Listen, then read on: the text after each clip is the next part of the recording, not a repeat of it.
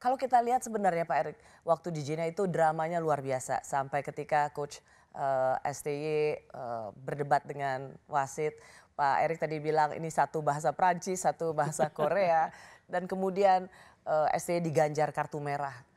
Itu cukup lama dan sebenarnya pemain juga mulai ke apa? Ya. keluar lapangan. Ada indikasi bahwa pemain Indonesia mau walk out.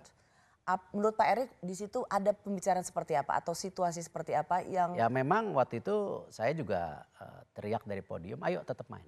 Hmm. Tunjukkan siapa kita. kenapa Apakah kenapa nggak walk out aja Pak Erik? Enggak lah, enggak.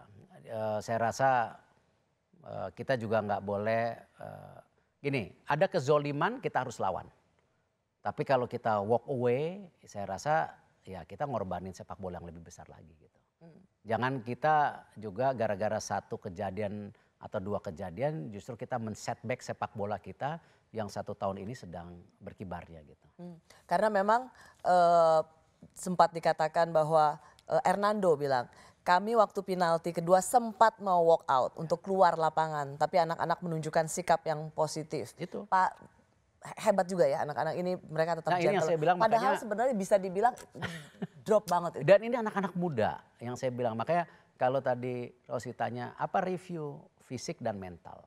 Bayangkan mental udah segini tebelnya aja masih ya itulah memang eh, tidak mudah. Dan ini generasi emas kita yang harus kita rawat, kita pupuk.